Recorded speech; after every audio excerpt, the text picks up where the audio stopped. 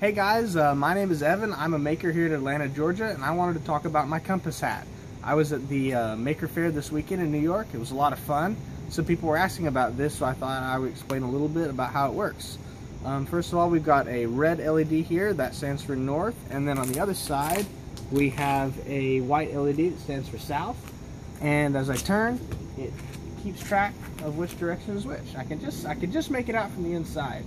But anyway, I wanted to show you guys. Uh, I'm using a compass and accelerometer that I got at Adafruit, connected to the Adafruit Flora, and just a battery hooked on with Velcro. Very simple. Um, only takes three wires to connect to this RGB LED strip, and I can individually control the brightness and color of each LED, which makes it very useful for a lot of projects. But in this case, we have a compass hat.